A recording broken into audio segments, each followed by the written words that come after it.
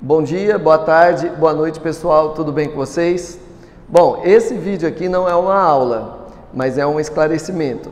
Em uma dada aula é, de geografia a respeito dos conflitos na África, eu estava tratando especificamente do conflito no Sudão, onde tribos é, árabes islamizadas elas têm é, muitos atritos com as tribos animistas, não é? É? E também cristãs, mas particularmente animistas. E na dada aula, eu acabei associando de forma inadequada o termo animismo com é, candomblé, orixás, entendeu? Cuja palavra que usei é a palavra macumba.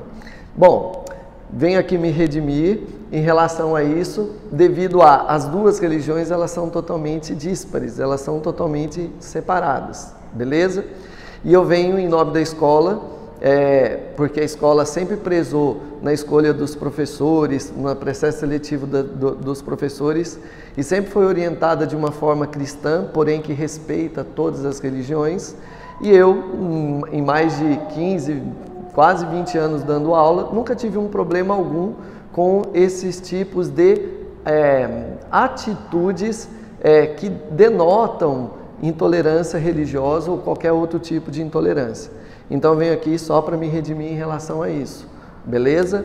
Então eu, como pessoa também é, que respeita todos os credos, eu peço desculpa para aqueles é, que ficaram ofendidos em relação à minha postura.